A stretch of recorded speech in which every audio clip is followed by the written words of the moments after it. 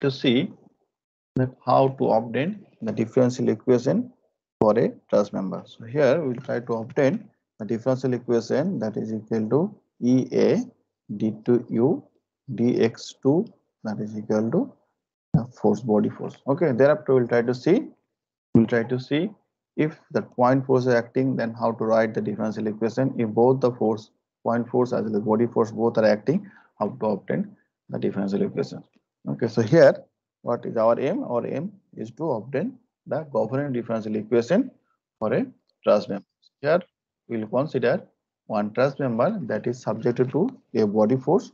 The body force amount is the Fx and that magnitude of the Fx is that Q Newton per meter. That is basically load is given Newton per meter.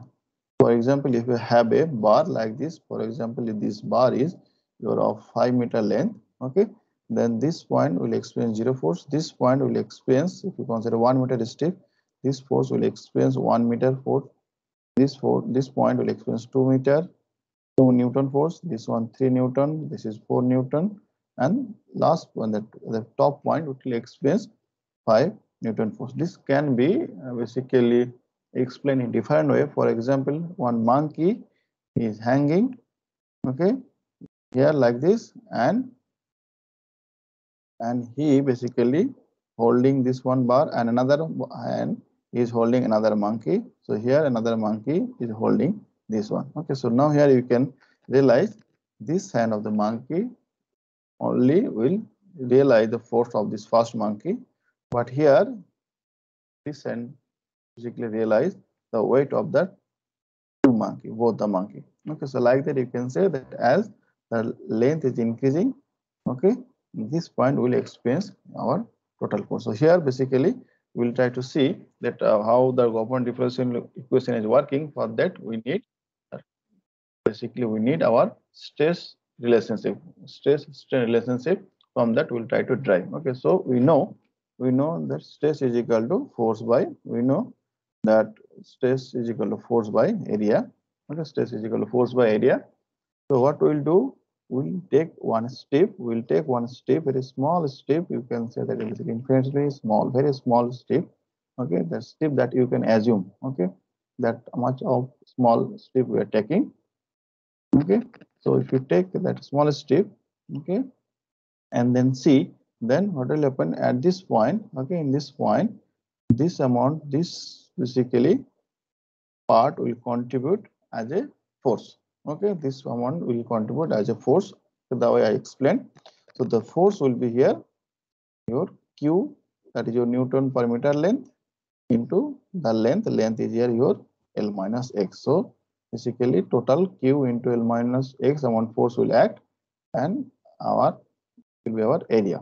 Okay so area means that whatever the area is there that area to consider.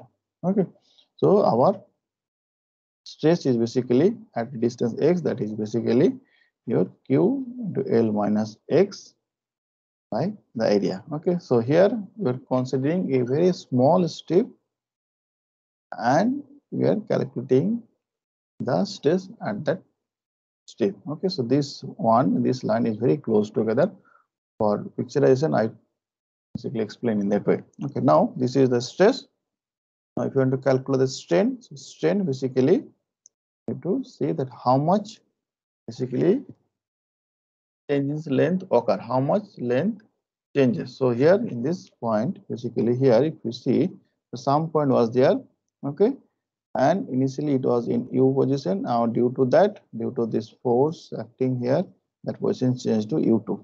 Okay, now basically our strain will be U2 minus U1 by original length that our step. Okay, that way basically we can write that is strain is equal to change in length by original length like that. Okay. Now again we know we know that as per Hooke's law the stress is proportional to strain. In that way we can write the stress is equal to the Young modulus into the strain. Now what we'll do we'll try to basically write that Young modulus that is equal to stress by strain. Okay so that basically we can write now what we'll do, we'll put the value of the stress and we'll put the value of strain here. We put then you can write that is equal to E is equal to the stress by strain that is equal to this value. Now what we'll do, we'll basically multiply this one with this one. Then we can get E du dx again.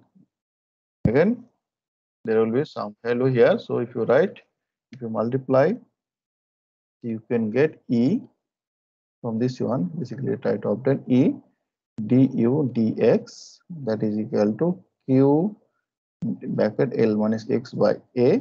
Now you can write EA du dx that is equal to Q into L minus x. Okay, that equation basically we obtain. Okay, now if one more time, okay, if you take derivative one more time here, if you take the derivative one more time here, so it, this side will be EA du dx2, okay, and this side will be your minus Q force. That will be your minus Q force. Okay.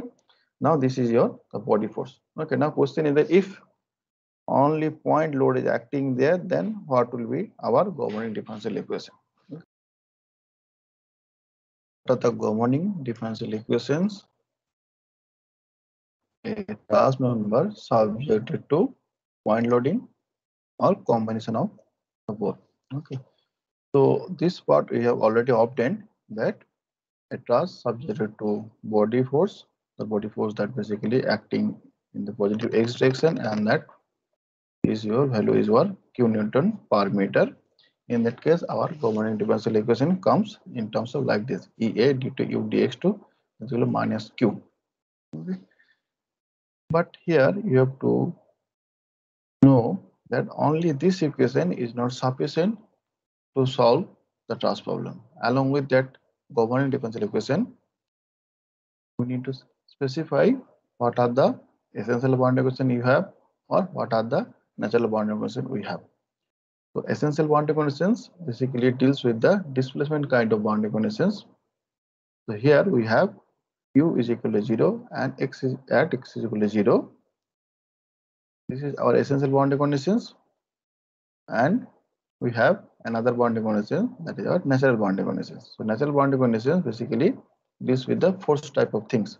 So here we don't have any force, we have don't have, don't have any point force.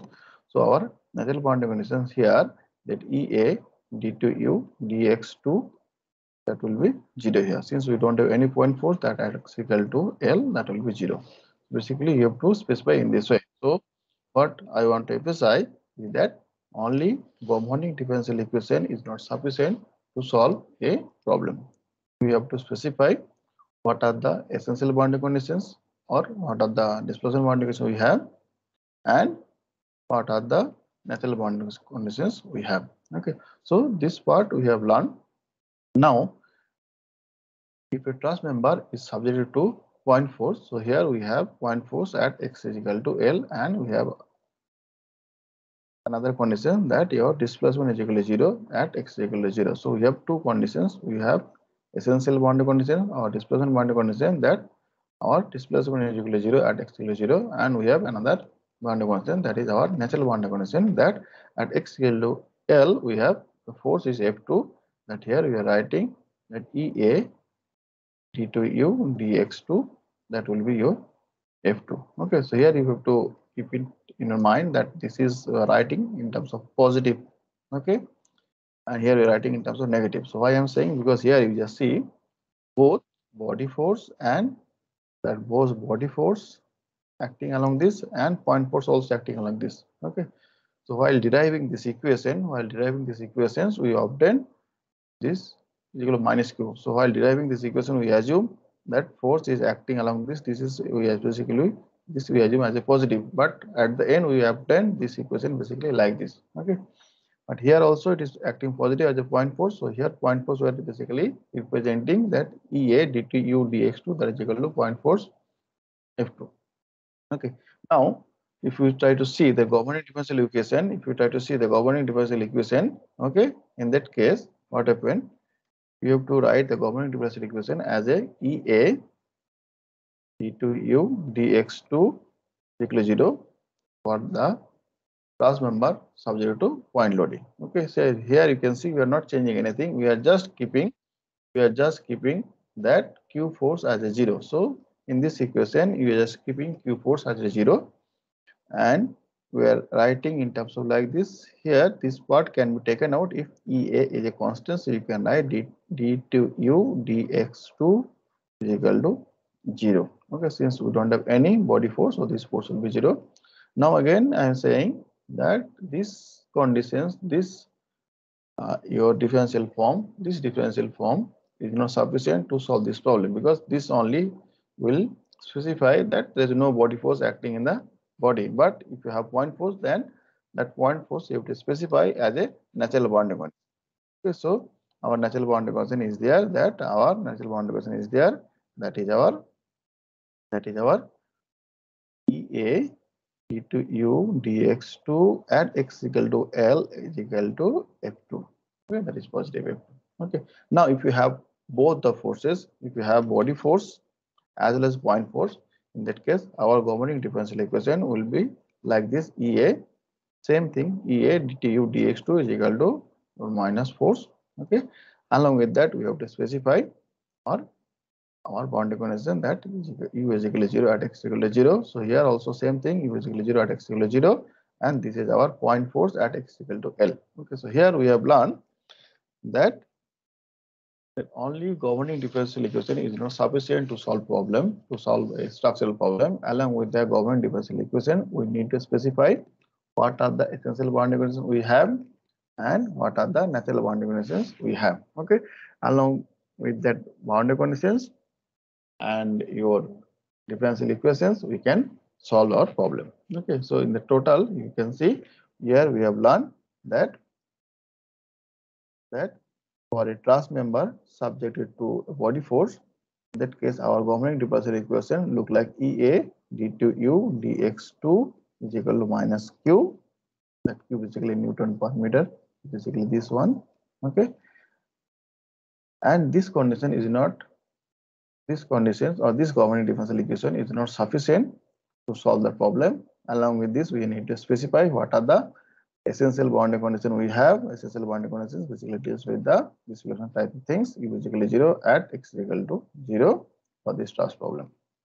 And since we don't have any point load so we don't have any natural boundary conditions for this problem. But if you have point load in that case you have to specify along with you have to specify essential boundary conditions and your natural boundary conditions. Along with the differential equation you need to specify both the conditions then only you will be able to solve. Okay? I hope you got some idea. Thank you.